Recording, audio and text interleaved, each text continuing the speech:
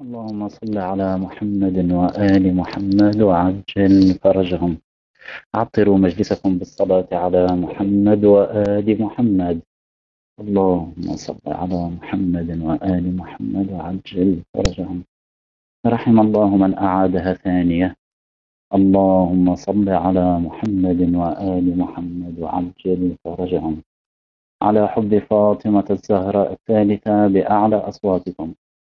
اللهم صل على محمد وآل محمد وعجل فرجهم. أعوذ بالله من الشيطان اللعين الرجيم. بسم الله الرحمن الرحيم. وصلى الله على محمد وآله الطيبين الطاهرين المعصومين. السلام عليك يا مولاي يا صاحب العصر والزمان. السلام عليك يا خليفة الرحمن. السلام عليك يا شريك القرآن. السلام عليك يا ساطع البرهان. السلام عليك يا إمام الإنس والجان ورحمة الله وبركاته. ورد في زيارة آل ياسين العظيمة إذا أردتم التوجه بنا إلى الله وإلينا فقولوا كما قال الله تعالى سلام على آل ياسين. السلام عليك يا داعي الله ورباني آياته. السلام عليك يا باب الله وديان دينه. السلام عليك يا خليفة الله وناصر حقه. السلام عليك يا حجة الله ودليل إرادته. السلام عليك يا تالي كتاب الله وترجمانه. السلام عليك في آناء ليلك وأطراف نهارك. لأجل تعجيل فرج مولانا الحجة بن الحسن صلوا على محمد وآل محمد. اللهم صل على محمد وآل محمد وعجل فرجهم. بسم الله الرحمن الرحيم. إن شاء الله موضوع المداخلة في هذه الليلة المباركة المزينة بحقيقة شهر شعبان المعظم وروح شهر شعبان المبارك. سائلين المولى عز وجل أن يوفقنا لكل خير في هذا الشهر العظيم. طيب موضوع المداخلة إن شاء الله هو مواصلة لشرح زيارة آل ياسين الذي بدأناها منذ بداية هذا البرنامج في البولتال يعني منذ تقريبا آه، عشرة أيام أكثر أو أقل شيء يعني منذ بداية مسألة الحجر الصحي في هذا البلد. سائلين المولى عز وجل أن يفرج كرب الإنسانية جمعاء ويعجل في فرج وليه. طيب قلنا بإذن الله تعالى إن شاء الله البرنامج يعني المحاضرة هي حول عبارة يعني العبارة التي بدأناها أمس السلام عليك في أطراف ليلك وآناء نهارك بمعنى أننا نحاول أن نبحث كيفية الارتباط نحو العلاقة الموجودة بين المعصوم وبين الزمان بين صاحب العصر عجل الله تعالى فرجه الشريف وبين مسألة الليل والنهار لأنه كما تمت الإشارة أن زيارة آل ياسين توجد فيها فقرة أخرى نخاطب من خلالها صاحب العصر عجل الله تعالى فرجه الشريف بقولنا يعني حسب عبارة زيارة زيارة آل ياسين السلام عليك في الليل إذا يخشى والنهار إذا تجلى فهو زمان يعني هذا الزمان العرفي الذي نعيشه نسلم على صاحب العصر ضمن ذلك الزمان. ولكن العبارة التي نحن بسبب التمعن في حقائقها وأطوارها هي هذه العبارة التي تربط بين آناء الليل بين أطراف النهار وشخص صاحب العصر. بمعنى تنسب آناء الليل لشخص صاحب العصر تنسب أطراف النهار لشخص صاحب العصر. يعني السلام السلام عليك في آناء ليلك وأطراف نهارك يعني خطاب لصاحب العصر طيب قبل إن شاء الله أن نواصل البحث لا بأس في بعض الثواني أن نذكر بما مر في الحصة الماضية والحصة التي قبلها يعني من باب التبرك أولا وثانيا نظن عند رغبة بعض الأصدقاء في ذكر العناوين العامة التي مرت حتى يمكنهم متابعتنا فيما بقي من حصص وخاصة في هذه الحصة. وبارك الله في أستاذنا العزيز الذي هو في بداية هذا المجلس المبارك. قد كتب ووضع خلاصة للحصة الماضية. لكن بشكل عام نقول أنه مرت معنا الإشارة إلى حقيقة الزيارة بمعناها العام. وقلنا أن الزيارة فيما تعني يعني في معاجم اللغة العربية هي القصد والإعراض وزيارات الأئمة صلوات الله وسلامه عليهم أجمعين. هذه الزيارات هي من باب فعل وإتيان وتحقيق ذلك الإعراض وذلك القصد في ذات الإنسان.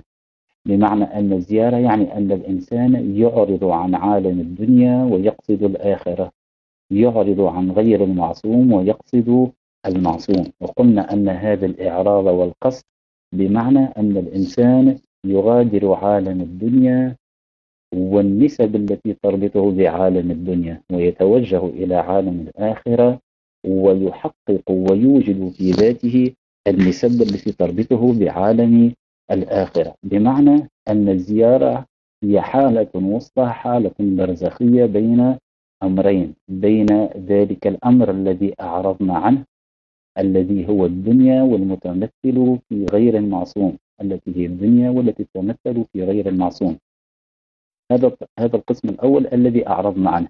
نحن موجودين بين هذا الشق الأول الذي أعرضنا عنه وأيضا بين شق ثاني نصب للوصول إليه ونقصده ألا وهو الإمام ألا وهو عالم النور ألا وهو حقيقة الآخرة. فنحن موجودون في فنحن موجودون يعني من خلال الزيارة ومن خلال ما نحققه من معاني الزيارة في ذواتنا فنحن موجودون في حالة وسطى برزخية بين ما أعرضنا عنه وبين ما نقصده. وقلنا أن هذه الحالة الوسطى البرزخية هي حقيقة الانتظار الذي يعيشه الإنسان. الانتظار بمعنى انتظار ظهور صاحب العصر انتظار ظهور دولة صاحب العصر انتظار الدخول في دولة صاحب العصر. يعني نحن قصدنا هذه الدولة وننتظر الدخول إليها. إذا فالزيارة في جوهرها في روحها تحقق فعل الانتظار بل هي حقيقة ذلك الانتظار. وأيضا قلنا أن هذا الانتظار لا يعني أن الإنسان يبقى مكتوف الأيدي بل أن هذا الانتظار بما يعنيه من إعراض وقصد. إذا يتحقق الإعراض عن الدنيا ويتحقق القصد الحقيقي للآخرة القصد الحقيقي لصاحب العصر عجل الله تعالى فرجه الشريف فعندها سندخل في مرحلة الانتظار لأن الانتظار ليس زمان يعيشه جميع الناس بل إن الانتظار من أفضل العباد بل في بعض الروايات أن أفضل العبادات هو انتظار الفرج بمعنى أنه هو أمر يحققه الإنسان يوجده الإنسان بمعنى أن هذا الانتظار هو فعل الزيارة التي تدخلنا في عالم المنتظرين لظهور الإمام المهدي. وقلنا أن الدخول في عالم المنتظرين في مرحلة الانتظار يعني الدخول في مرحلة في حالة في وضع في مقام يسمى بمقام الحضور ما معنى الحضور؟ قلنا أن غيبة صاحب العصر وظهور صاحب العصر الغيبة والظهور ليس بما ليستا يعني هذين المفهومين ليس مفهومان وليس مفهومين متقابلين في اللغة العربية الغيبة لا تقابل الظهور. الغيبة تقابل ماذا؟ الحضور. إذا أولا بين الغيبة والظهور عندنا مرحلة تسمى الحضور. الزيارة وعليكم السلام ورحمة الله. الزيارة ماذا تعني؟ الزيارة يعني الدخول في عالم الانتظار يعني تحقيق الحضور في والتهيئ والإستعداد لظهور صاحب العصر. الحضور تعبر عنه الزيارة من خلال الخطاب المباشر السلام عليك يا صاحب العصر السلام عليك يا بقية الله السلام عليك يا داعي الله. هذا الخطاب المباشر هو التعبير الحقيقي عن حالة الحضور التي تدخلنا فيها الزيارة بشكل عام. وأهمية زيارة آل ياسين على نحو خاص كما مرت الإشارة إليه قلنا أن الزيارات هي التقرب إلى الله عز وجل من خلال أسمائه وقلنا أن أسماء الله لها مراتب. عندنا أمهات عندنا أمهات الأسماء وعندنا مظهر الاسم الجامع الذي هو لفظ الجلالة المقدس الله.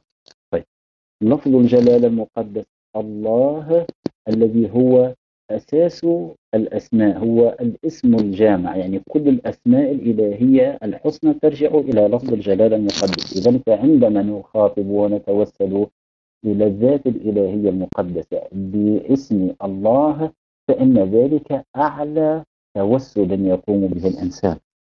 مظهر الاسم الجامع في عالمنا هو نور الرسول الخاتم صلى الله عليه وآله.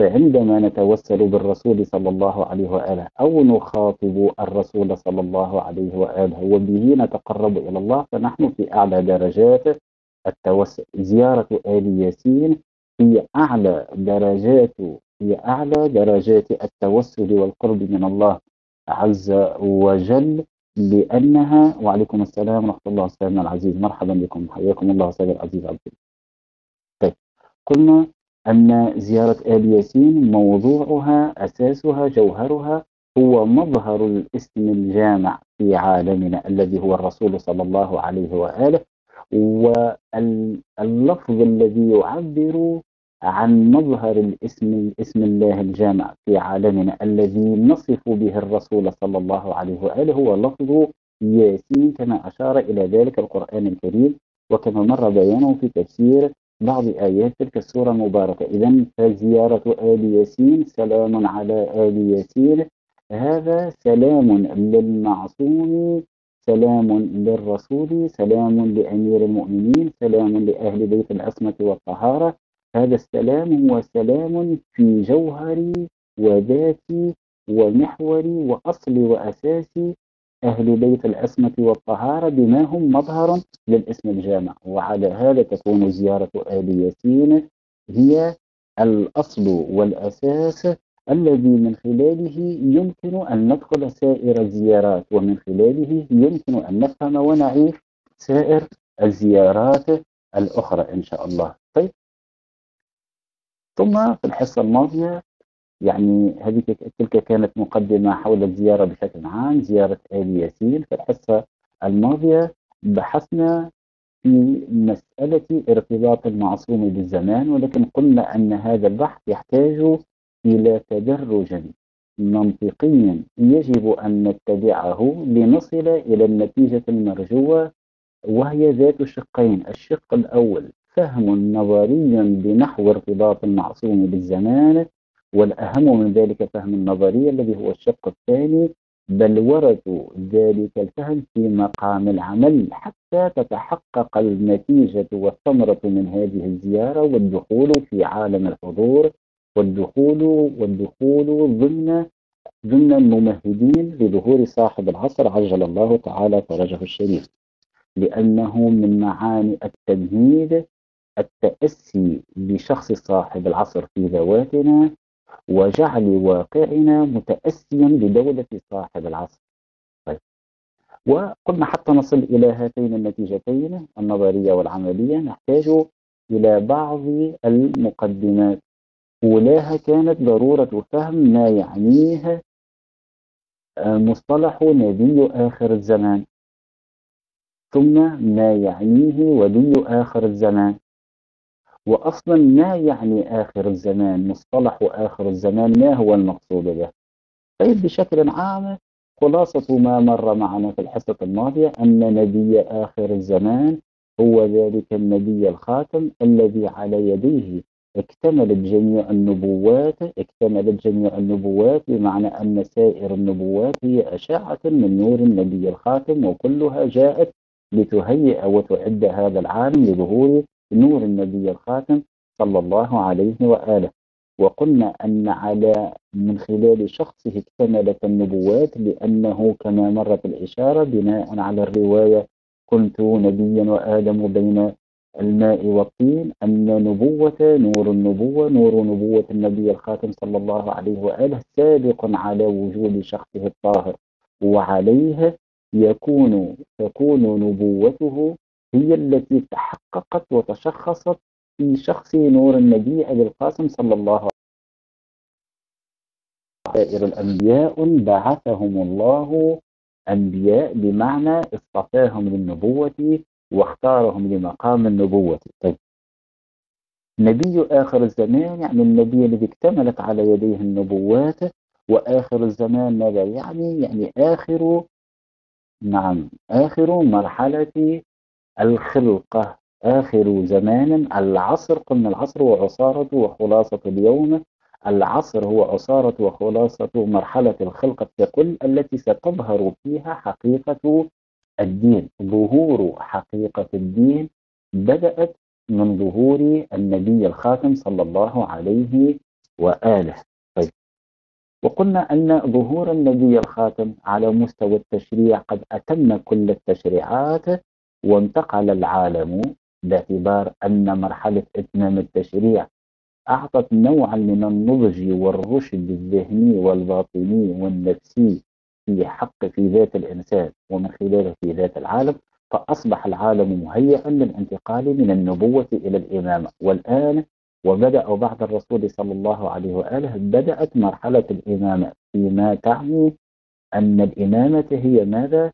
كما أن العالم تم وتم فيه التشريع الآن ستبدأ صيرورة الإمامة من خلال التصرف في عالم التكوين من خلال التصرف في باطن هذا العالم من خلال التصرف في حقيقة الإنسان ليصل كل هذا العالم إلى تلك اللحظة ويكون فيها قابلا لرؤية نور الحق لرؤية حقيقة الدين لرؤية أمر الإيمان والغيب في هذا العالم.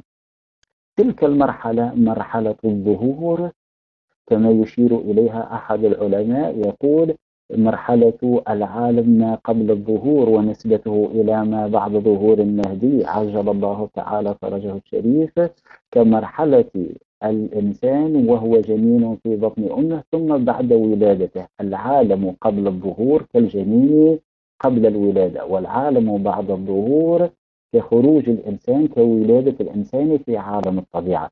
إذا فالولادة الحقيقية لهذا العالم هي بعد الظهور. وطبيعي جدا أن تلك المرحلة إذا كانت على هذا النحو تحتاج إلى إعداد كبير على مستوى التكوين وعلى مستوى الباطن حتى تتم الولادة بشكل طبيعي وسلس. وهذا ما أشارت إليه الأدعية المباركة من خلال كلمة لتسكنه أرضك طوعا تطويع الأرض يعني تطويع قواعد وضوابط وقوانين عالم الأرض. تغيير قوانين عالم المادة بما يمكنه أن يلائم مرحلة ما بعد الظهور مرحلة ولادة هذا العالم. بما يمكنه أن يكون منسجما مع القواعد الحاكمة في دولة صاحب العصر. عجل الله تعالى فرجه الشريف. طيب وعلى هذا الأساس قلنا أن إذا أردنا أن نعرف ما هي التغييرات التي ستحصل في هذا العالم فيمكن أن ننظر إلى منتهى يعني نهاية إلى منتهى كل هذه التغييرات التي يمثلها يوم القيامة.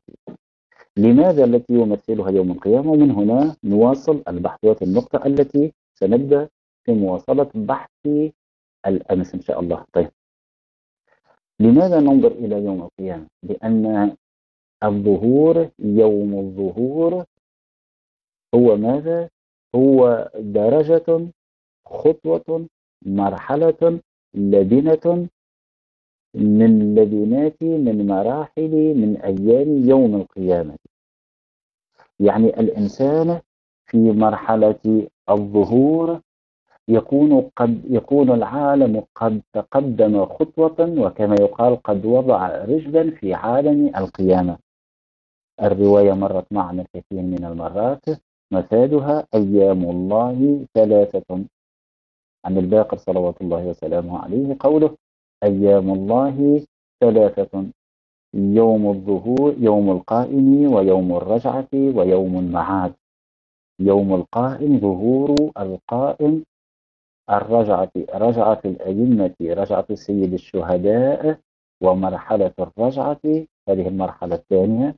المرحلة الثالثة المعاد ويوم القيامة. إذا فالظهور والرجعة والمعاد أو بداية من الظهور يكون الإنسان قد دخل في مرحلة القيامة قد دخل في مرحلة يوم القيامة. طيب يوم القيامة لا شك أن ذلك اليوم تتغير فيه معطيات وضوابط وقوانين العالم الذي نعيشه.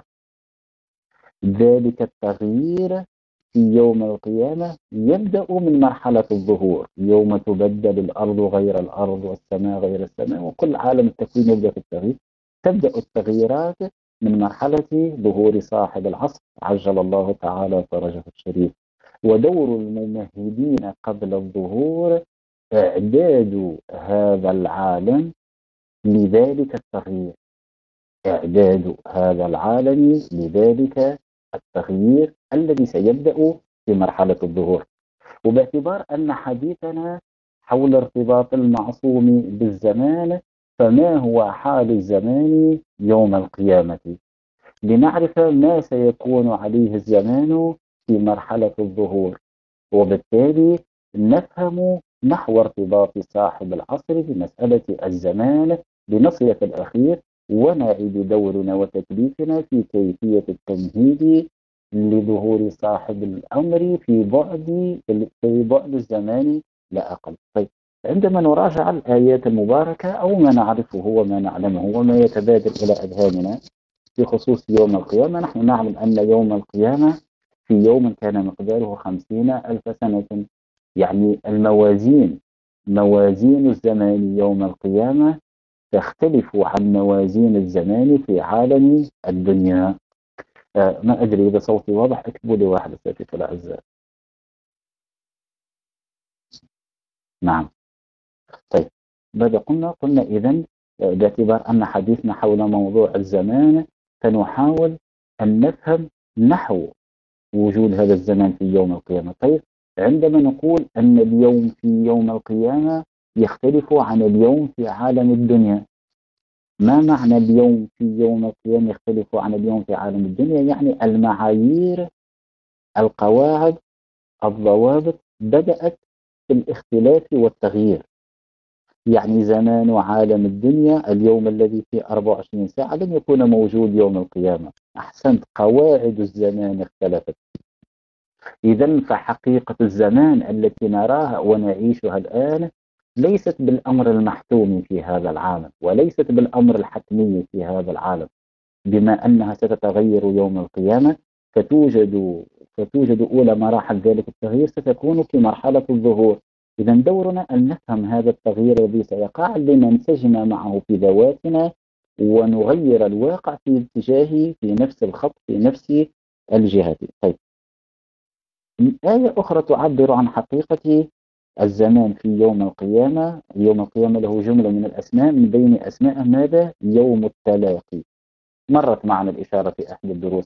ما معنى يوم التلاق بالتاء التلاق ما معنى يوم التلاق ترى بعض الأخوات الإخوة اللي كانوا حاضرين في ذلك الدرس يكتبون ما هو المقصود بالتلاق يوم التلاق التلاق من الالتقاء.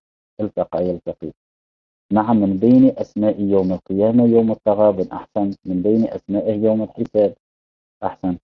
لقاء عالم الدنيا مع الغيب الباطن والظاهر. طيب هذه كلها لا شك أنها أمور صحيحة. يوم التلاق من بين معاني وأهم معنى في حقيقة التلاق هو ماذا؟ التلاق المقصود به هو وعليكم السلام ورحمة الله أستاذنا العزيز. حياكم الله. بارك الله فيكم. نشكركم كثير على الحضور. طيب إن شاء الله نواصل. إذا قلنا من بين معاني يوم القيامة بما يعنيه كلمة التلاق. التلاق بمعنى التقاء الماضي والمستقبل. بمعنى أنه في يوم القيامة لا يوجد عندنا ماض ومستقبل. كل شيء يأتي محضرة. كل شيء في عال في لحظة الحضور. كل شيء في مرحلة في زمان الحاضر إن صحت العبارة. بل باعتبار انتفاء الماضي والمستقبل لا معنى بزمان الحاضر. كل شيء موجود في تلك اللحظة في ذلك الآن.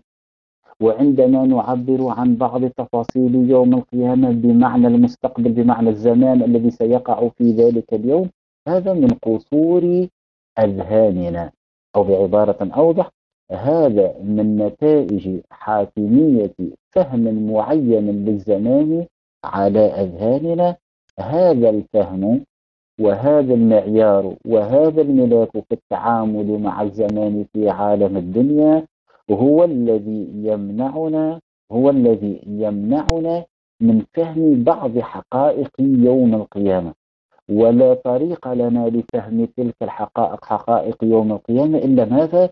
إلا أن نتحرر من هذا الفهم الدنيوي. وعندما نتحرر من هذا الفهم الدنيوي أو مما فرضه علينا مما فرضته علينا الحياة الدنيا من قواعد للزمان في أذهاننا عندما نتحرر من هذه الدنيا وفرض مفاهيمها الزمانية على أذهاننا عندها يمكننا أن نفهم كيف يسعنا أن نغير كيف يسعنا أن نغير مجريات مجريات عالم الطبيعة في بعدها الزماني لتكون مهيئة مع دولة صاحب العصر؟ ما معنى يوم التلاقي يوم يلتقي فيه ماذا قلنا؟ الماضي والمستقبل. بعبارة أخرى ينتفي فيه الماضي والمستقبل. عندما نقول ينتفي فيه الماضي والمستقبل ما معنى؟ ونحن نعلم أن يوم القيامة ماذا يعني؟ يوم القيامة قلنا هو يوم ظهور حقائق كانت موجودة في عالم الدنيا لا نراها يوم تبلى السرائر يعني تظهر حقائق عالم الدنيا. هذا موجود في يوم القيامة. انتفاء الماضي والمستقبل في يوم القيامة يعني أنه في عالم الدنيا هل يوجد ماضي ومستقبل؟ أحسنت. بارك الله فيك. رواية أمير المؤمنين صلوات الله وسلامه عليه نكتبها مع بعض. ماذا؟ ما ولى مضى وما لم يأتي فأين؟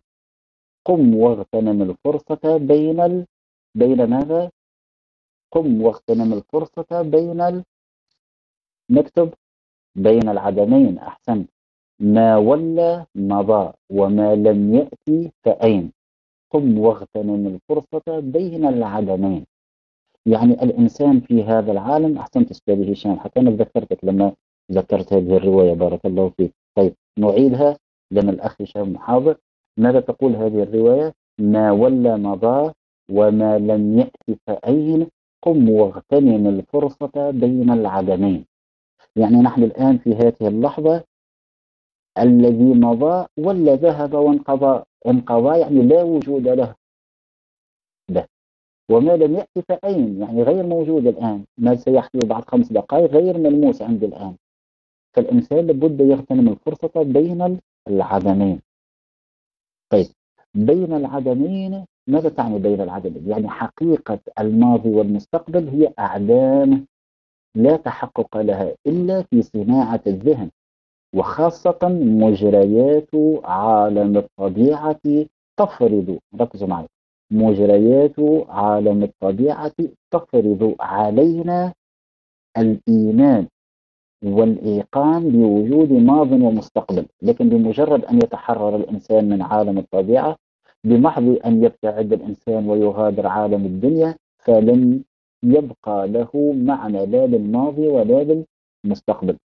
مرت الإشارة أنه في ليلة الإسراء والمعراج الرسول صلى الله عليه وآله في لحظات المعراج قد تحرر من عدم الماضي وعدم المستقبل يعني من العدمين ورأى أهل الجنة ورأى أهل الجحيم وغيرها من المسائل الأخرى والتقى بجميع الأنبياء الذين كانوا يعيشون في زماننا بمنطقنا المادي كانوا يعيشون في مرحلة زمانية سابقة إذا النتيجة التي يمكن أن نفهمها من خلال مسألة يوم التلاق ومسألة عدمية الماضي والمستقبل كون ماذا؟ كون من بين عوائق دخول الإنسان في مرحلة الحضور من بين الموانع التي تحول بين وجود الإنسان وحضوره في دولة صاحب العصر. أحسن سؤال مهم جدا أستاذ العزيز. عندما يتحرر الإنسان من الماضي هل يتخلى عن هويته؟ نعم هو هذا الذي نحاول أن نفهمه في هذه الحصص.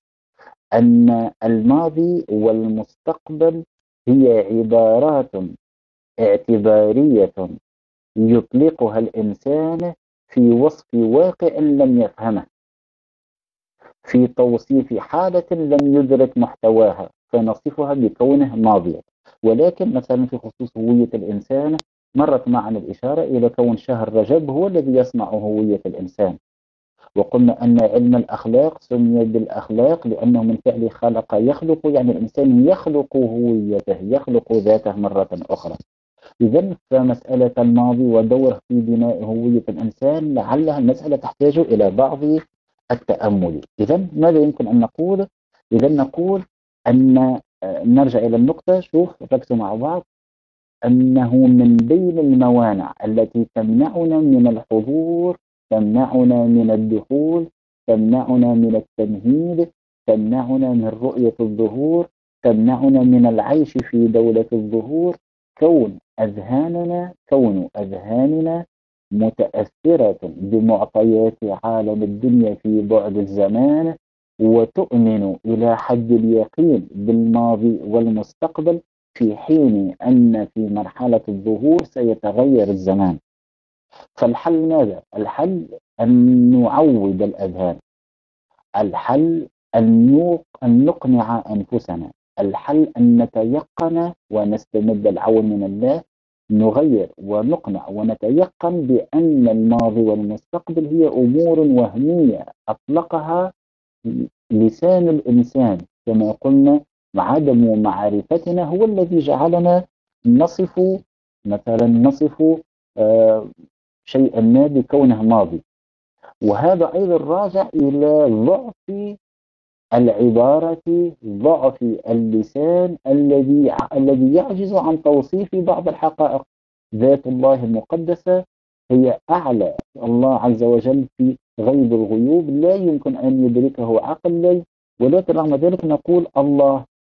فهل هذا اللفظ يعبر على نحو المطابقة مع حقيقة الذات الإلهية المقدسة بالقطع لا لماذا؟ لأن هذا اللفظ هو ماذا؟ تعبير ناشئ من عالم المادة ولذلك الإنسان يحتاج إلى تعبيرات أخرى فوق المادة ليوصل بها تلك المعاني ومن هنا نفهم لماذا لجأ العرفاء في التاريخ أهل العرفان أهل السير والسلوك يلجؤون عادة لإيصال بعض الحقائق يلجؤون إلى ماذا؟ إلى الأشعار يلجؤون لماذا إلى الشعر؟ لأن الشعر يوصل الحقائق في عالم ما وراء اللفظ لماذا في عالم ما وراء اللفظ؟ لماذا في عالم الرموز؟ لأن تلك الحقائق لا يمكن أن تحيط بها ألفاظ كذلك في عالم الدنيا كل هذه الحقائق الموجودة في عالم الدنيا والتي نحن نسميها بالزمان نحن نسميها بالمكان هي أمور من باب الخطأ على مستوى التوصيف أو نقول على مستوى ضعف الإنسان في الإحاطة ببعض الحقائق الموجودة معه. إذا محدودية العقل أحسن.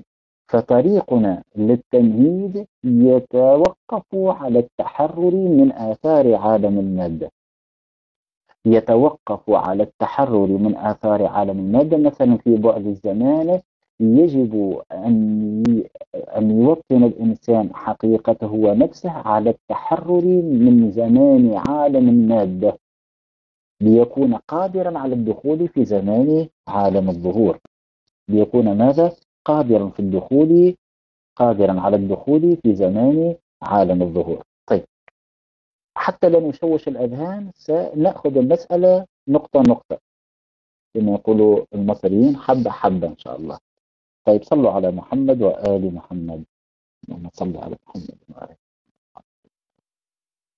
نعم. طيب. قلنا أن هذا الإنسان يسعى إلى أي شيء؟ يسعى للتحرر من زمان عالم المال. طيب. نحن نعلم نحن نعلم أن هذا الإنسان الأمر الذي يربطه بعالم الزمان هو الجسم الذي هو يعيش منه وبه يرتبط بالمادة وبه يفهم الزمان. يعني ارتباط الإنسان بالجسم المادي أحسن ارتباط الإنسان بجسمه حقيقة وجود هذا الجسم هي حلقة الوصل بيننا وبين المكان والزمان. إذا لم يكن للإنسان جسم فلن يكون له زمان ولا مكان طبعا. ولكن باعتبار أن الإنسان جسم فهذا الجسم الذي يحدد لنا نقطة زمانية ما. ما يسبقها ماض وما سيتلوها مستقبل. إذا فهذا الجسم هو الذي يربطنا بزمان عالم الدنيا. طيب. إذا حديثنا حول ارتباط الإنسان بالزمان وارتباط صاحب العصر بالزمان وارتباط المعصوم بالزمان يحيلنا إلى مسألة ارتباط المعصوم بالجسم ارتباط الإنسان بالجسم ومن خلاله كيف يرتبط بالزمان. نعم. طيب لنرجع إلى مسألة الإسراء والمعراج. قلنا أنه مثلا في ليلة الإسراء كان الحديث في تفسير هذه الآية المباركة سبحان بعد أعوذ بالله من الشيطان اللعين الرجيم. بسم الله الرحمن الرحيم. سبحان الذي أسرى بعبده ليلا من المسجد الحرام إلى المسجد الأقصى الذي باركنا حوله. طيب. سبحان الذي أسرى بعبده ماذا؟ ليلا من المسجد الحرام إلى المسجد الأقصى. طيب. بمعنى أن الإسراء هل تم بالروح فقط أم بالجسم والروح؟ لا شك أن فعل الإسراء قد تم بالروح والجسم ودلالة الآية المباركة بالاثنين أحسن.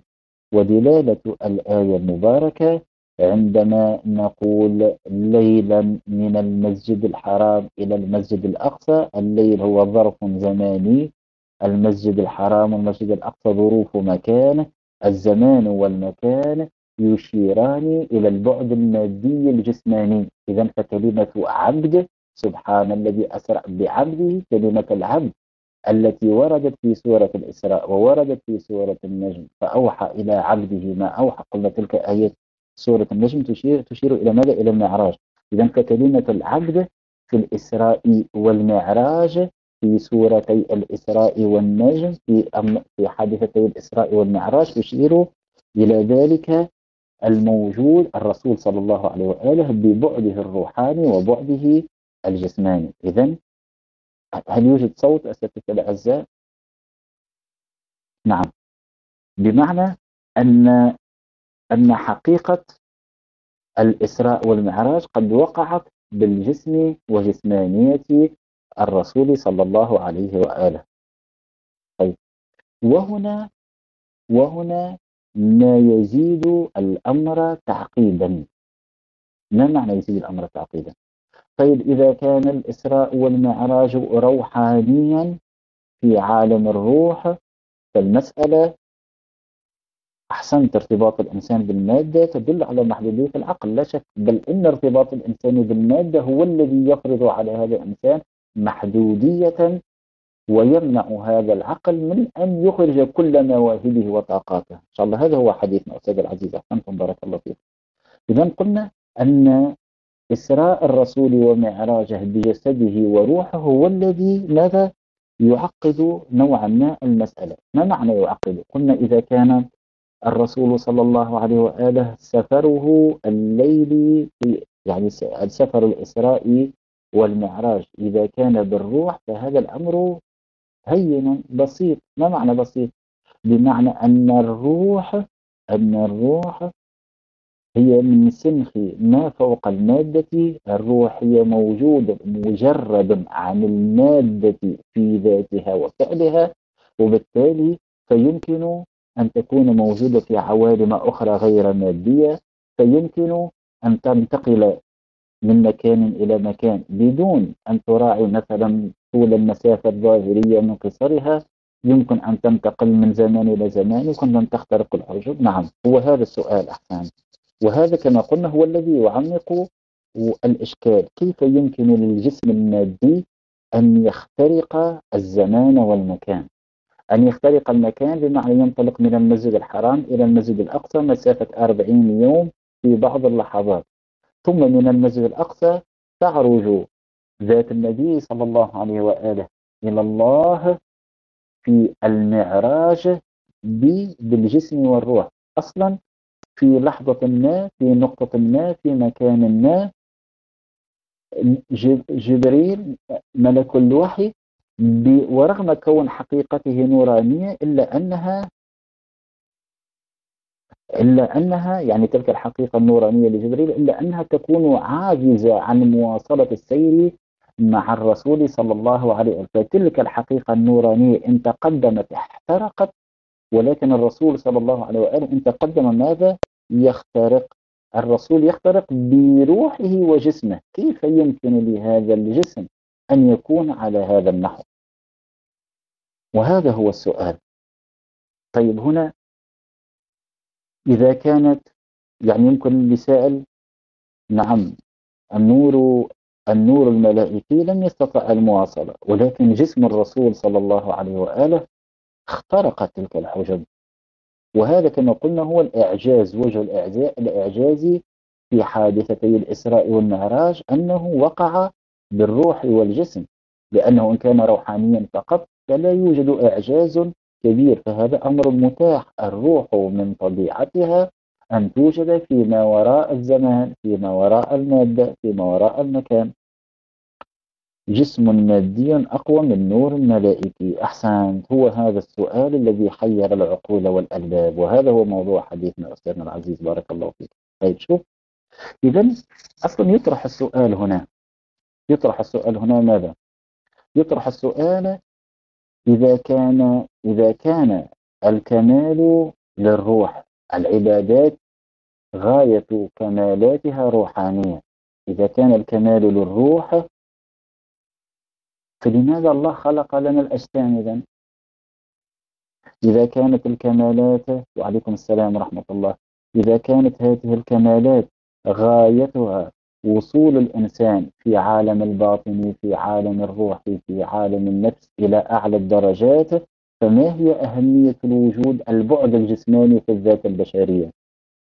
أصلا مر معنا في بحث معرفة الإيمان بالنورانية في ذكر مولد أمير المؤمنين صلوات الله وسلامه عليه وتمت الإشارة إلى كون أصل المعرفة بالإيمان هي تلك المعرفة التي تتجاوز الظاهر الجسماني وتخرق حجاب المادة لتصل لمعرفة الإيمان بكنه معرفته معرفته بكنه معرفته معرفته بالنورانية.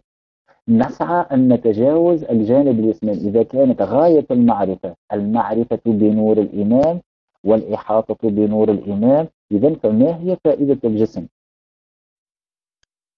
هل نستنتج تأثير الروح على الجسد وتغيير تركيبته الظاهرة؟ أحسنت أستاذ جندور هو هذه خلاصة البحث.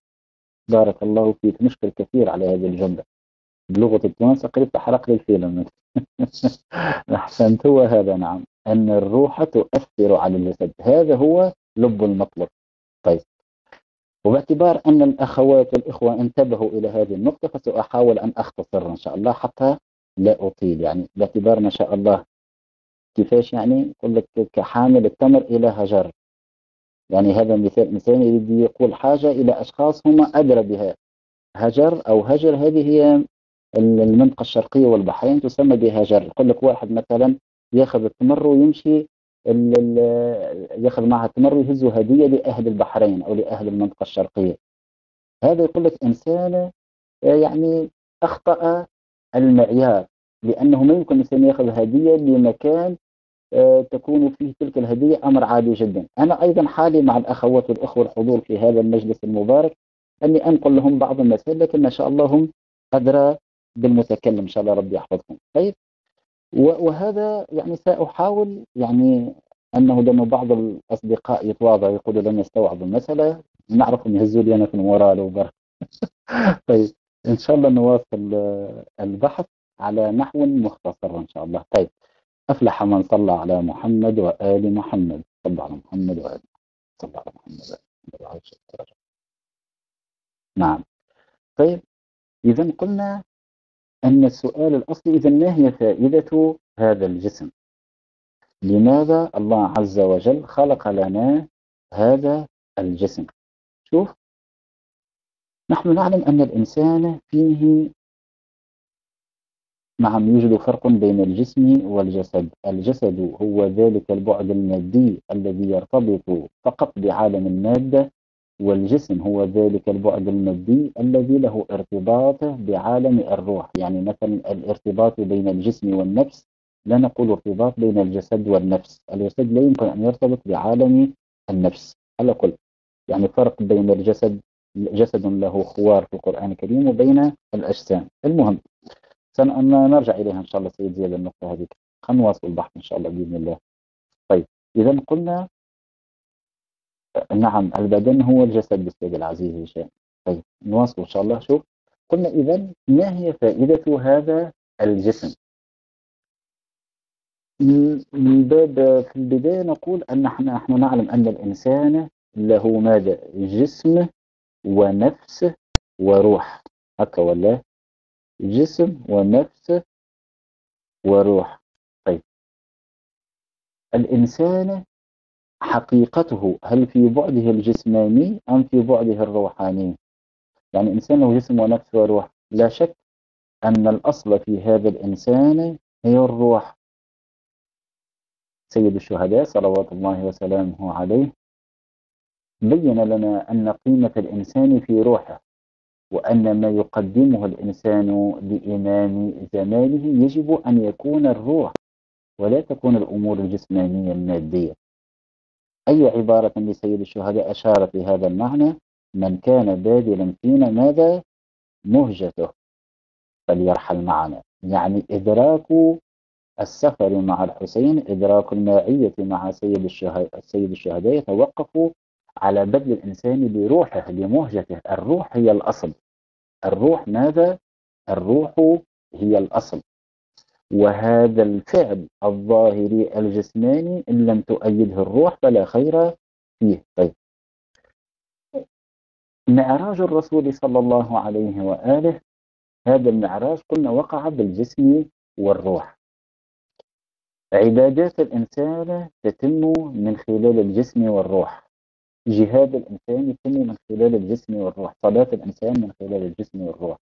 طيب. الوجود الجسماني الوجود الجسماني هو ماذا؟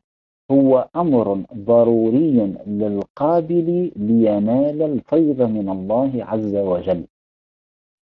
نكرر هو أمر ضروري للقابل. يعني الإنسان الموجودات المادية ضرورة يجب أن يكون فيها جسم لتكون قادرة على تلقي الفيض من الله عز وجل. يعني هذا الجسم يعني مثلا الله عز وجل أوجد جملة من النعم حتى يتغذى بها الجسم يتقوى بها الجسم ليقوى على العبادة طيب لماذا؟ لأن الإنسان بطبيعته لأن الإنسان في ذاته وجود الجانب الجسماني فيه هو نقطة امتيازه على الملائكة وهي نقطة قوته على الملائكة شوف نقطة امتيازة ونقطة قوته لماذا نقطة قوته؟ لأنه من جانب سيكون امتحان الإنسان أقوى من امتحان الملائكة لأن الملائكة هي وجودات من عالم النور وجودات مجردة عن المادة فلا تعيش ألم وشهوات وملذات المادة. أحسن ده. هذا الجانب هذا الجانب معروف. ولكن يوجد جانب آخر أهم ميز الله به الإنسان على الملائكة من خلال الجسم. وهو الذي نريد أن نصل إليه. قلنا هذا الإنسان إذا أراد مثلا أن يتقرب إلى الله فيتوجه بجسمه إلى إلى جهة القبلة. أو يتوجه إلى مسجد ليصلي. أحسنت الاختيار بارك الله فيك. العقل هذه كلها طبعا إجابات آه، صحيحة إن شاء الله تعالى. طيب قلنا أن هذا الإنسان باعتبار وجود الوجوده المادي وجوده الجسماني هذا الأمر الجسماني هو الذي يساهم في قرب الإنسان من الله. ووعدنا موسى ثلاثين ليلة وأتممناها بعشر بمعنى أن هذا الزمان ثلاثين ليلة أربعين ليلة هذه في عالم المادة في عالم الزمان. طيب هذا نعم شوفوا كل الموجودات مكلفة في هذا العالم سواء كانت لا يوجد لها جانب مادي كالجن على فرض أو هي جوام أمور مادية محضة كالأشجار مثلا. كل الأمور كل هذه العوالم مكلفة إن هو إلا ذكر للعالمين عالمين قلنا جمع عالم وأقل الجمع ثلاثة يعني كل العوالم كل عالم الخلقة مكلف. الله عز وجل أمر السماوات والأرض إتيا طوعا أو كره قالت أتينا طائعين. كل شيء مكلف في هذا العالم. فالتكليف لا يتوقف فقط على وجود الجسم. طيب إذا قلنا أن الإنسان بعده الجسماني بعده المادي هذا البعد هو الذي يؤهله لتلقي الفيض لأنه موجود محاصر بالزمان والمكان فيجب أن يتحين الزمان. إن ناشئة الليل أشد وقعا وأقوم قيلا يجب أن يترصد المكان الذي يستجاب فيه الدعاء حتى يكون هذا الإنسان أقرب إلى الله عز وجل.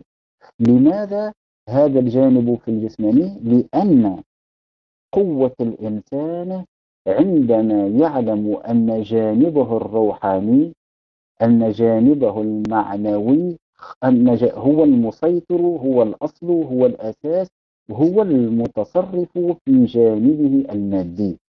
الرسول صلى الله عليه وآله الرسول صلى الله عليه وآله أسري به بجسمه وروحه لأن تلك الروح قادرة على التصرف في ذلك الجسم وتطويعه.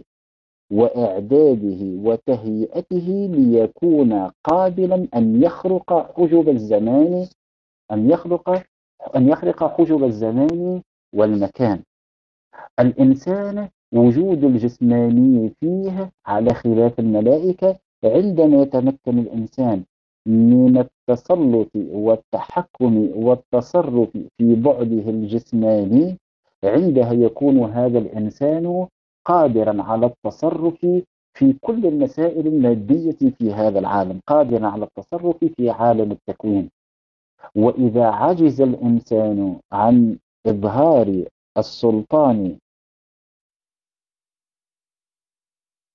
نعم أستاذ العزيز شوف كل العوالم مكلفة والعوالم المكلفة تتلقى الفيض بوسائط الوسائط هم الأئمة المعصومون صلوات الله وسلامه عليهم أجمعين. الإمام المعصوم هو خليفة الله في كل العالم لأن الله عز وجل رب للعالمين لكل العوالم. فخليفته خليفته في العالمين يعني في كل العوالم. وبالتالي يكون هذا الجن يتلقى الفيض من الله عبر المعصوم أو بعبارة أخرى عبر نواب المعصوم في عالم الجن. كما الإنسان الغير المعصوم يتلقى الفيض من الله عبر المعصوم ونوابه الذين هم المراجع في عالم الإنس وهكذا. أحسن. نعم. طيب نواصل حديثنا إن شاء الله. نعم. إذا قلنا أن وجود أن الجانب الجسماني في الإنسان أهميته أنه يمكن الإنسان من الوصول إلى اللحظة التي يتحكم فيها في بعده الجسماني يتحكم فيها في لوازم جانبه المادي وبسلطان الإنسان على جسمه بسلطان قلبه على جسمه يكون هذا الإنسان قادرا أن يتصرف فيما سواه في عالم المادة. بينما الملائكة لا تتصرف في عالم المادة الملائكة مأمورة بأن تقوم ببعض الأعمال في هذا العالم بما وهبها الله من قوة نورية في عالم النور. بينما الإنسان إذا قدر على أن يتصرف في بعده الجسماني في بعده المادي سيكون قادرا على التصرف في كل الجوانب المادية في هذا العالم ولوازمها. لوازم المادة في هذا العالم هي الزمان والمكان. مثلا كان قادرا على طي المكان مثلا أو قادرا على طي الزمان. قادرا على ماذا؟ طي المكان. يتصرف في المكان. وقادرا على طي الزمان. طي المكان ينتقل من مكان إلى مكان. على في في مدة قياسية تختلف عما عن المدة التي يقضيها ويحتاجها الإنسان العادي. لماذا؟ لأن هذا الإنسان قادم على التصرف في أحسن قادم على التصرف في جسمه. لأنه كما تفضلت أستاذ العزيز عبدي أطعني تكون مثلي. بالنسبة لعالم الزمان أيضا نفس الشيء. مثلا أفضل مثال عندنا للتصرف وطي عالم الزمان ما يقع للإنسان في ليلة القدر المباركة. أن في ليلة القدر في لحظة يطوي مسافة في ليلة يطوي مسافة كم؟ ألف شهر. هذا اسمه طي الزمان. طيب طي المكان طي الزمان هذه من بين آثار تصرف الإنسان في عالم المادة متى عندما يكون قد تصرف في جسمه. لكي تتواصل علاقة أحسنت نعم هو هكذا. يعني مثل أحسنت أستاذ محمد بارك الله فيك. يعني المعجزات التي وقعت للأنبياء. المعجزات. يعني مثل تلك المعجزات هي في الحقيقة إذن لأن النبي هو الحاكم هو خليفة الله هو باب الله في تلك المرحلة في ذلك العالم. يعني مثلا في زمان نبي الله إبراهيم الله باب الله هو نبي الله إبراهيم. فالفيض في هذا العالم يمر عبر نبي الله إبراهيم. عبادات الناس في هذا العالم تمر في تلك المرحلة تمر عبر نبي الله إبراهيم. إذا فهو المتصرف فيما سواه. لأنه خليفة الله فيما سوى نبي الله إبراهيم في ذلك الزمان. فهو المتصرف في النار. نبي الله موسى هو المتصرف في البحر. عيسى هو المتصرف في في إبراء الأكمه والأبرص وينفخ في الطين. وهذه المسائل كلها. إذا هذه التصرفات التي يأتيها المع... يأتيها أتاها الأنبياء فيما سواهم فيما دونهم التي نعبر عنها بالمعجزات. هذه التصرفات هي نتيجة ماذا؟ نتيجة سلطان الروح على على الجسم سلطان القلب على الجسد في ذواتهم. وهذه هي النقطة المهمة التي هي محور وهي كما يقال مربط الفرس. وهي الأصل لفهم مسألة التطويع لتسكنه أرضك طوعا.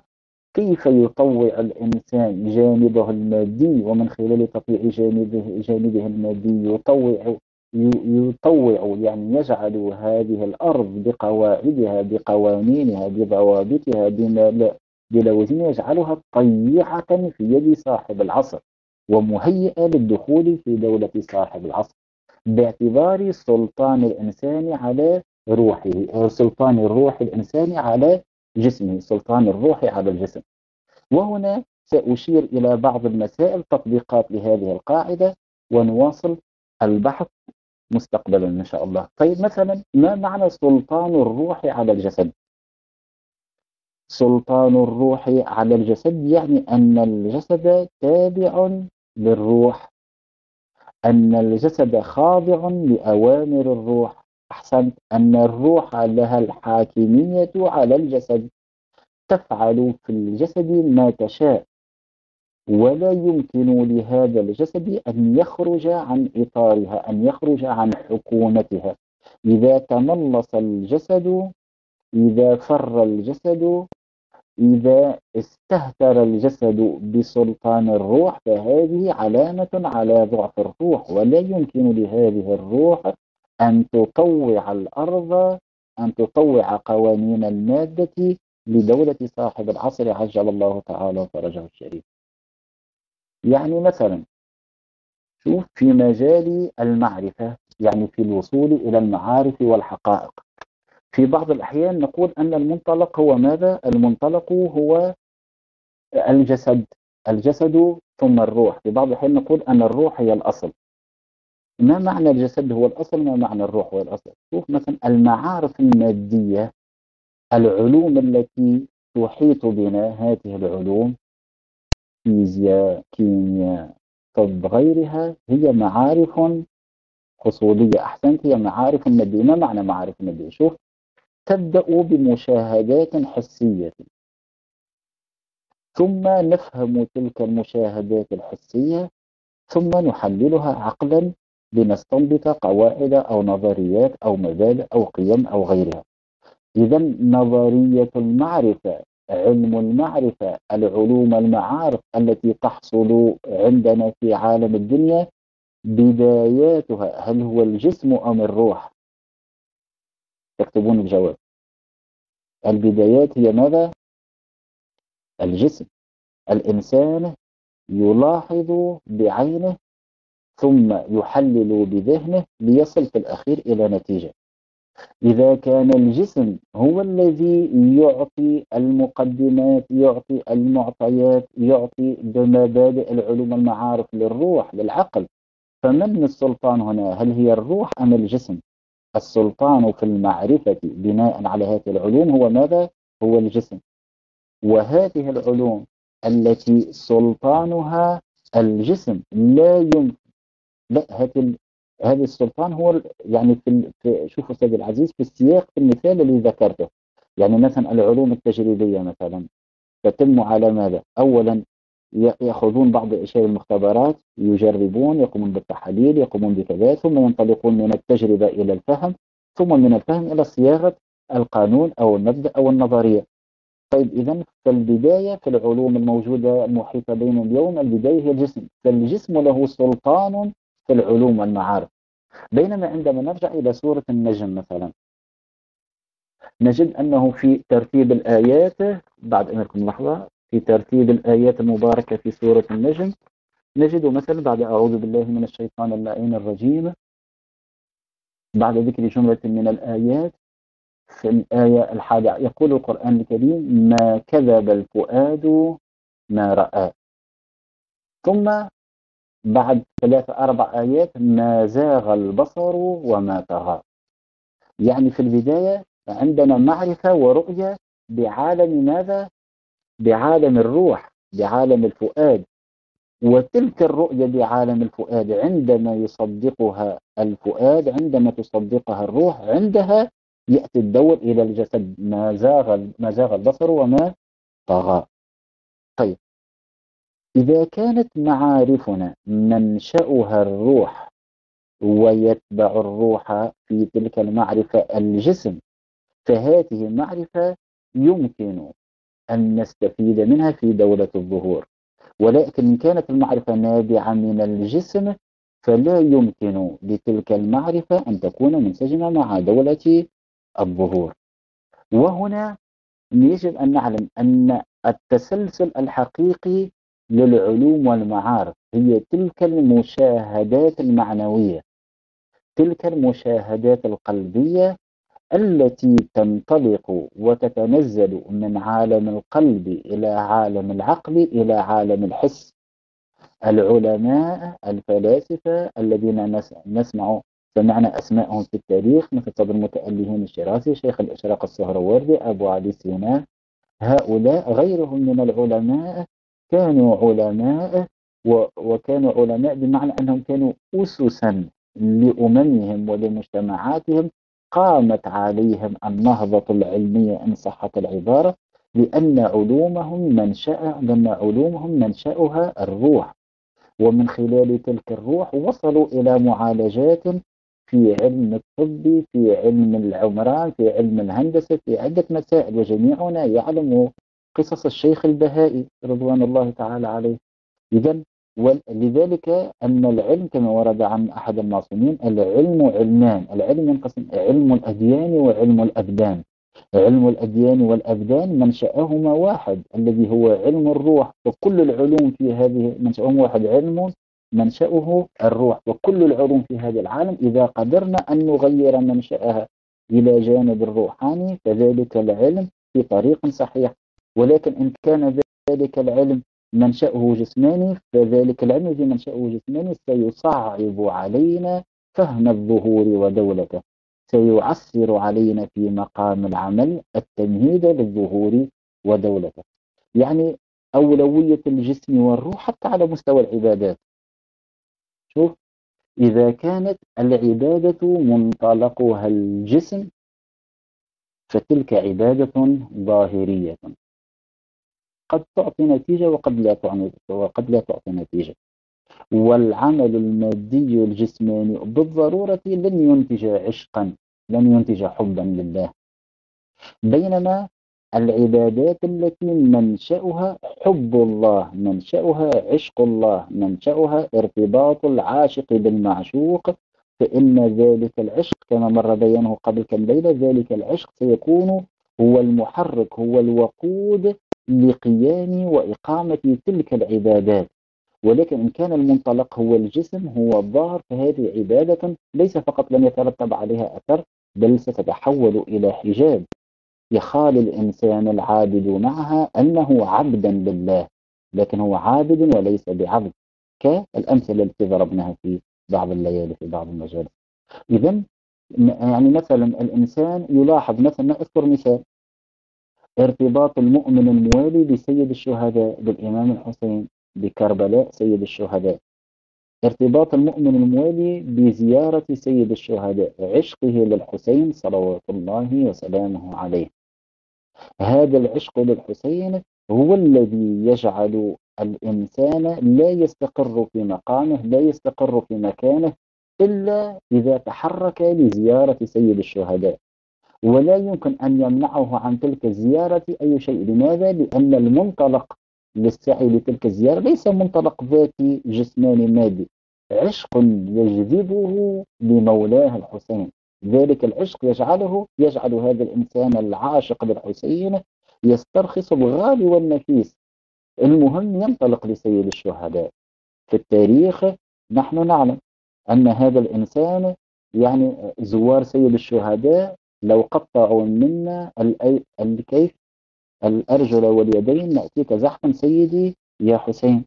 أحسنت تركت الخلق طرا في هواك وأيتمت العيال لكي أراك. فلو قطعت في الحب إردا فلو قطعت في الحب إردا لما مال الفؤاد إلى سواك. يعني مثلا شوف نأتيك زحفا سيدي حسين. يعني مثلا الآن عندنا مرض الكورونا. نسأل الله عز وجل أن يفرج عن جميع الإنسانية هذا الكرب ده. أنا متأكد وثيقة عمياء في شيعة الحسين في عاشق لو لم تكن فتاوى المراجع لو لم تكن فتاوى المراجع فتاوى المراجع الذين يقولون أنه يمنع على الإنسان الذهاب إلى تلك الأماكن. لو لم تكن فتوى المراجع لما في الأربعين أو في غير الأربعين لما تأخر مؤمن الموالي عن زيارة سيد الشهداء حتى وإن كان يعلم. لنفترض أنه يعلم أن الكورونا موجود أن القتل موجود أن التفجير موجود أن اللي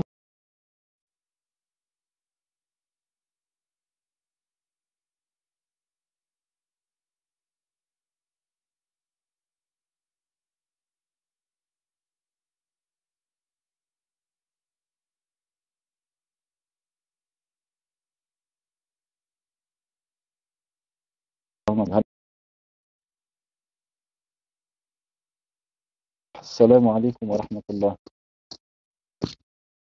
اللهم صل على محمد. هل تسمعوني؟ نعم. طيب إذا كنت من كان يسمعني فليصلي على النبي وآله. اللهم صل على محمد وآله أحسنت نعم. طيب إذا ماذا قلنا؟ أحسنت بارك الله فيك. قلنا أن هذا الإنسان يعني لا يمكن أن يقف أمامه للوصول لسيد الشهداء للوصول لكعبة الأحرار للوصول لقبلة العشاق. مركز الكون إلى مركز الطبيعة إلى مركز العقل إلى مركز الروح الحسين بن علي صلوات الله وسلامه عليه. لا يمكن أن يمنعه شيء. يعني الإنسان عندما ينظر إلى صور حرم أبي الفضل العباس لا يستقر له قرار إلا إذا ذهب الأمر الذي يمنعنا الأمر الذي يمنع عشاق الحسين والعباس هي فتاوى المراجع. هذا ماذا يدل؟ يدل أنها عبادة مؤسسة على العشق. ومن هنا نفهم حقيقة الشعائر في تقوية الجانب الروحاني على الجسماني في هذه الذات. ومن هنا نفهم سعي الشيطان لمحاربة هذه الشعائر. إذا هل الصوت واضح؟ نعم.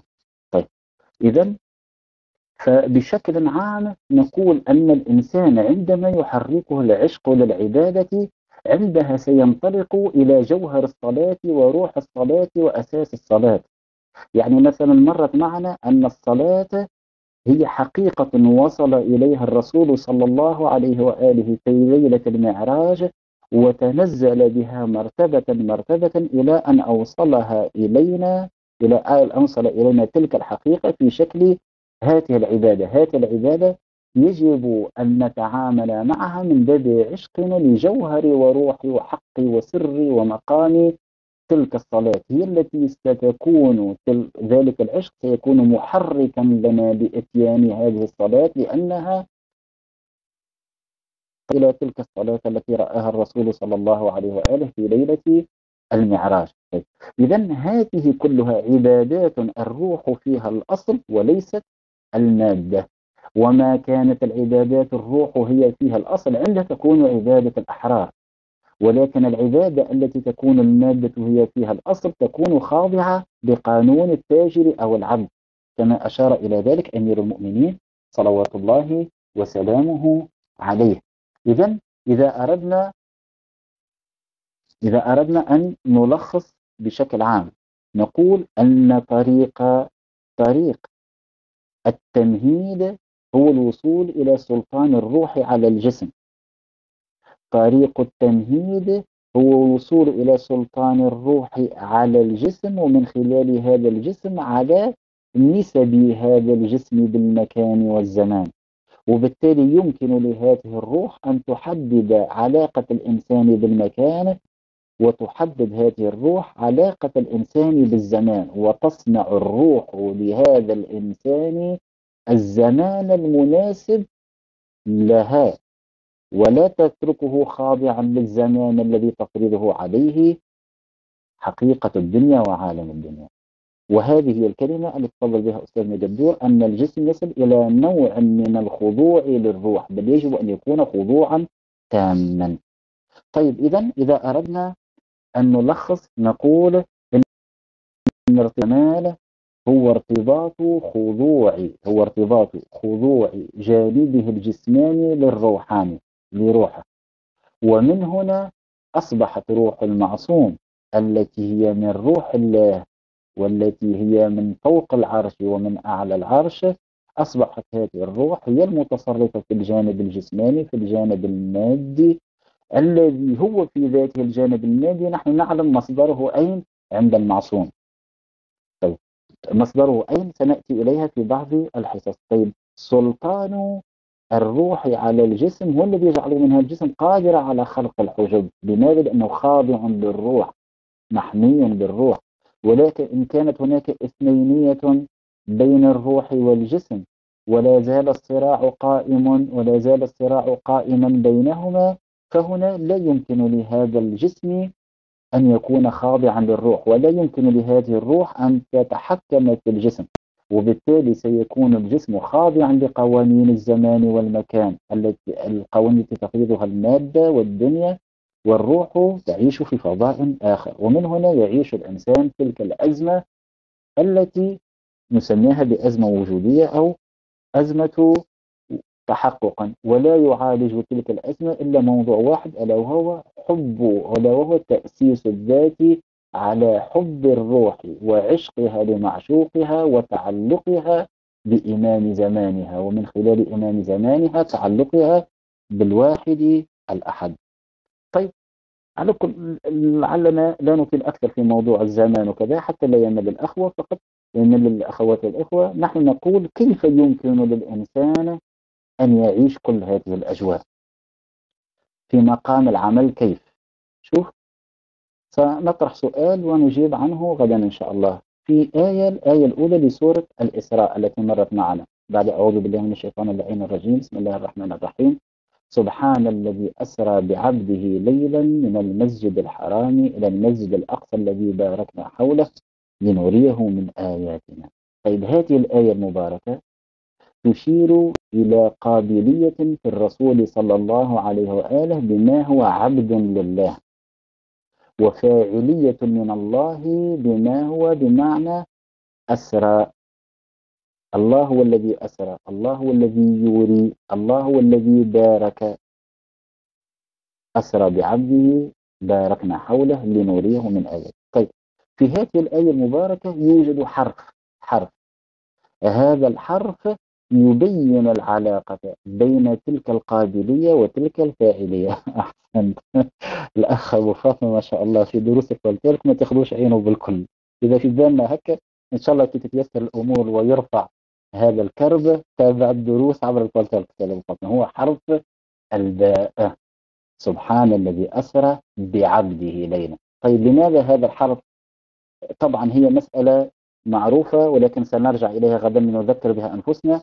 لكن لماذا هذا الحرف؟ لأن مثلا نحن نعلم أن أسرى فعل متعدي. سار يسري فعل لازم يعني لا يحتاج مفعول به. نقول سار العبد مثلا. سار بمعنى كما مرت معنا إشارة بمعنى آه سافر كان السفر ليلا. أسرى فعل متعدي. نقول أسرى عبده. لماذا حرف الباء هنا؟ أو ما هو أو ما هي مكانة حرف الباء بالنسبة لقواعد اللغة العربية في هذه الجملة؟ ماذا تعني حرف الباء. وهذا حرف الباء يشير إلى أمر مهم أحسن. بسم الله ما شاء الله يشير إلى مقام المعية. آه، أخونا محمد ما بارك الله عليك. لحفظ أخونا محمد صلوا على محمد وآل محمد. اللهم صل على محمد. بارك الله فيك سي محمد بارك الله عليك. تذاكر من ورانا يضر لي أنت. طيب إذا غدا إن شاء الله سيكون حديثنا حول المائية بما هي طريق للوصول إلى كل هذه المقامات التي تمت الإشارة إليها. وأعتذر عن الإطالة إلى أرواح الأولياء والعلماء والشهداء. نهدي جميعا ثواب الفاتحة. تسبقها الصلاة على محمد وآل محمد. اللهم صل على بسم الله.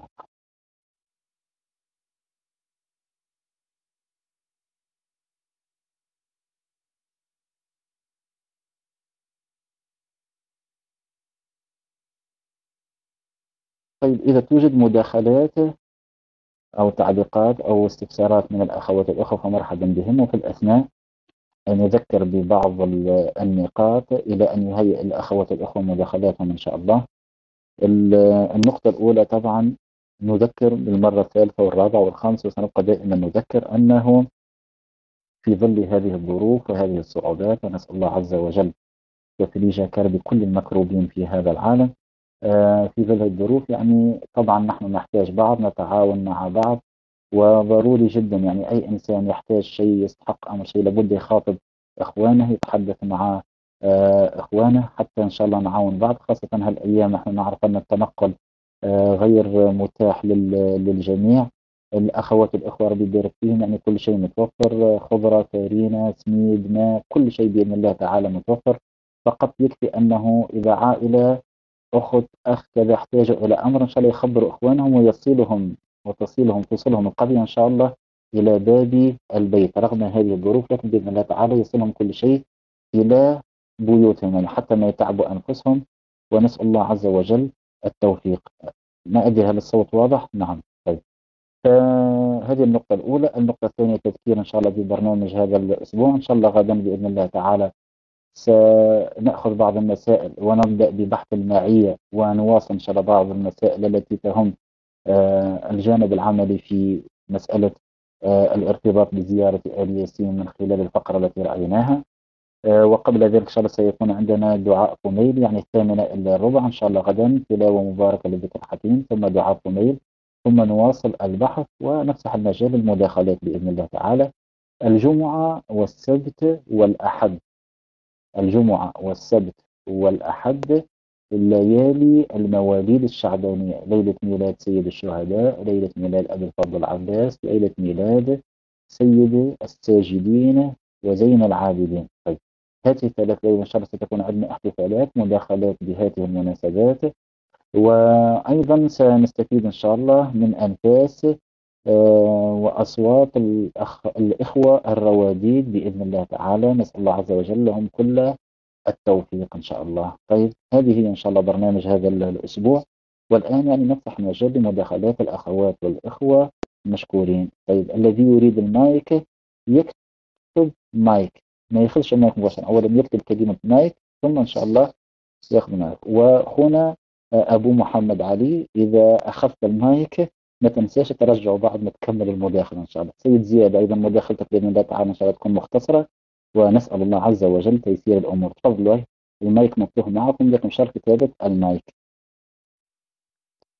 هل مسألة تلقي القيد عبر الجسم المادي مختص بالإنسان والجن ليس له جسم؟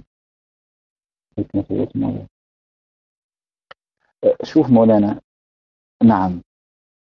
أنا لم أقل أن الإنسان يتلقى الفيض عبر الجسم الجسم هو شرط لتلقي الفيض بالنسبة للإنسان لماذا هو شرط لتلقي الفيض؟ لأن الإنسان هو أشرف الموجودات شرفه الله بكون هذا الإنسان له علم الأسماء علم الأسماء ماذا يعني؟ يعني ذلك العلم الذي من خلاله يمكنه أن يتصرف في هذا العالم ولكن تصرف الإنسان في هذا العالم لا يتم إلا عبر المرور من خلال تصرف روح الإنسان في جسمه. عندما يكون هذا الجسم خاضعا إلى الروح على مستوى الذات عنده يكون هذا الإنسان قادرا على التصرف في عالم المادة في كل العالم. لماذا؟ لأننا نعلم أنه بين الإنسان وهذا الكون يوجد عندنا تناظر يوجد عندنا تماثل. مراتب الوجود في عالم الخلقة هي نفسها المراتب الموجودة في الإنسان. أذكرها يعني بشكل آه بشكل مفهرس. يعني يوجد في عالم الخلقة جانب مرتبة طبيعية مادية ومرتبة مثالية ومرتبة عقلية. ما معنى طبيعي؟ يعني أمر مادي 100% ما معنى مثال يعني أمر نصف مادي نصف مجرد مثل النفس بالنسبة للإنسان. عقلي مثل الروح التي هي أمر مجرد. هذه المراتب كلها موجودة في عالم الخلقة ومثالها موجود في الإنسان. ولأن الإنسان هو أشرف الموجودات فلذلك كان يوازي كل عالم الخلقة لماذا يوازي كل عالم الخلقة؟ لأن هذا الإنسان هو خليفة الله في كل عالم الخلقة فلا بد أن يكون قادرا على التصرف في كل مراتبها. الموجودات الملائكية لأن لها مرتبة واحدة فقط وهي النورانية فلا يمكنها أن تتصرف فيما سواها. لماذا؟ لأنها لا تعلم فقط ولا تعرف فقط إلا المرتبة النورانية إن صحت العبارة إلا المرتبة العقلانية. الملائكة تسمى بالعقول مجرد عن المادة في ذاتها وفعلها. تفعل تقوم بتكليفها في عالم المادة لكن ليس تصرفا من تلقاء نفسها في عالم المادة. الجن كذلك هو مرتبة نازلة من عالم المثال. عالم المثال الذي هو عالم مثل النفس بالنسبة للإنسان. فيها جانب روحاني وفيه جانب مادي. الجن الج... اسمه الجن في جانب روحاني وفي جانب مادي أيضا. طيب ولكن الجانب المادي ليس على نحو الجسمانية بالنسبة للإنسان هو جسم لطيف. يسمى الجسم اللطيف والإنسان له جانب جسماني جسم كثيف مكثف يعني أمر ملموس. بينما الجسم عند الجن لا يمكن أن نلمسه والجن والملائكة لا توجد فيها أجسام بالمرة.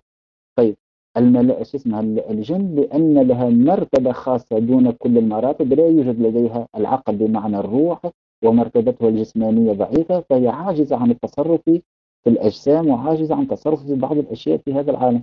بينما الإنسان لأن فيه كل هذه المراتب فعندها يمكنه أن يعمل علم الأسماء الإنسان عندها يمكنه أن يفعل علم الأسماء في كل مراتب الخلقة لأنه يدركها حضورا ووجدانا ويجدها في ذاته. وكما انتصر وتصرف فيها في ذاته فهو قادر على التصرف فيها يعني التصرف في كل تلك في كل تلك المراتب في عالم الخلقة نعم. إذا فالفيض من الله للإنسان عبر المعصوم عبر النبي صلى الله عليه وآله وخلفائه الأئمة صلوات الله وسلامه عليهم أجمعين والجسم هنا والجسم هو الذي سيكون الامتحان الأول لهذه الروح في سلطانها وتصرفها في عالم المادة على مستوى الذات فتكون قادرة على تطويع هذا العالم لظهور صاحب الأمر أو عدم نجاحها في هذا الامتحان. نعم.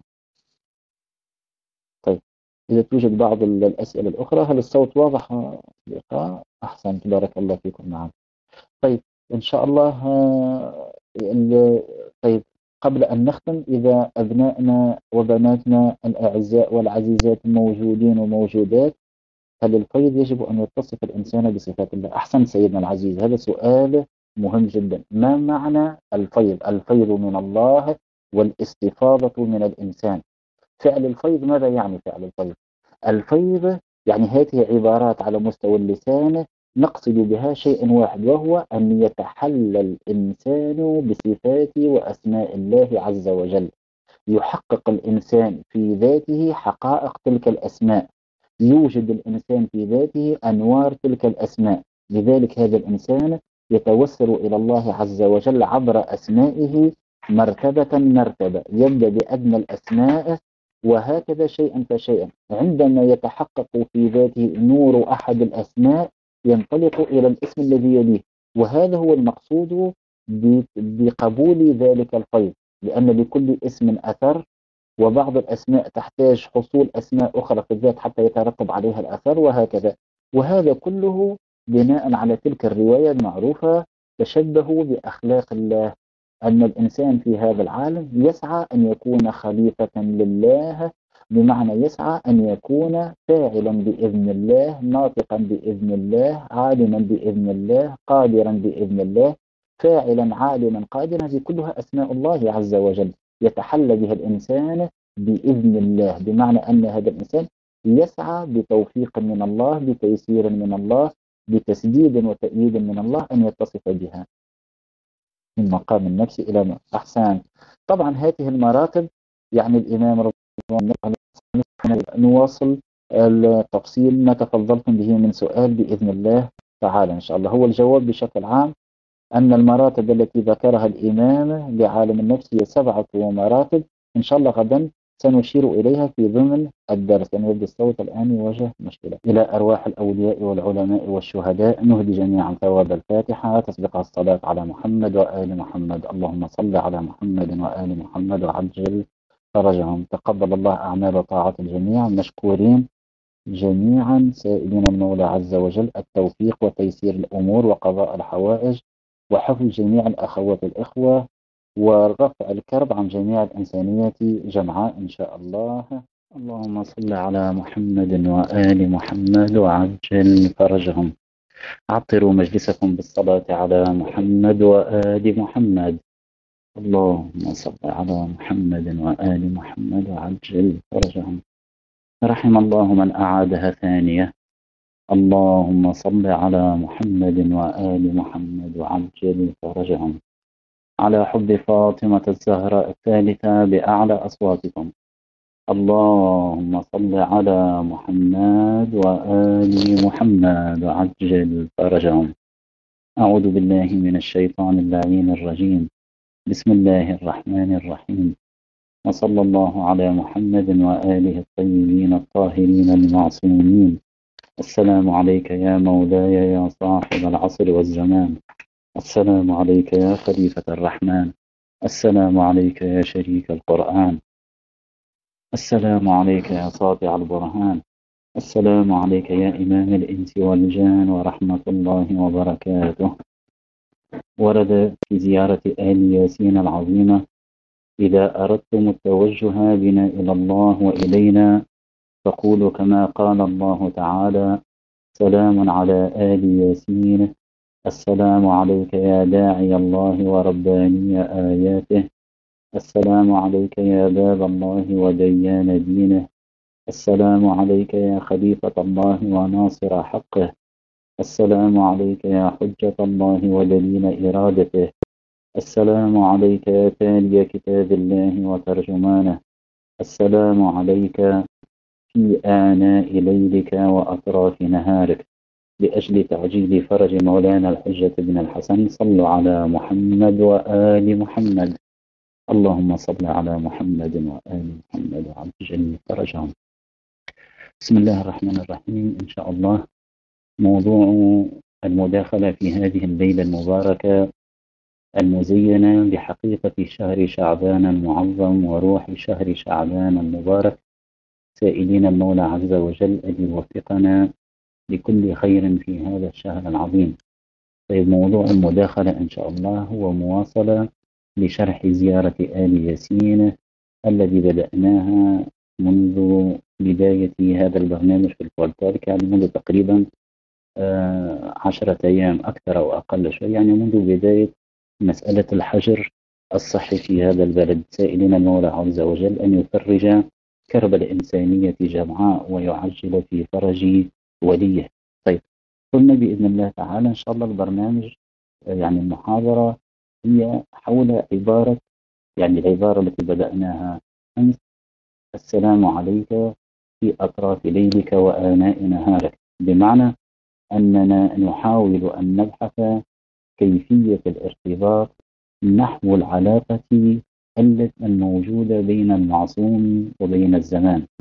بين صاحب العصر عجل الله تعالى فرجه الشريف وبين مسألة الليل والنهار لأنه كما تمت الإشارة أن زيارة آل ياسين توجد فيها فقرة أخرى نخاطب من خلالها صاحب العصر عجل الله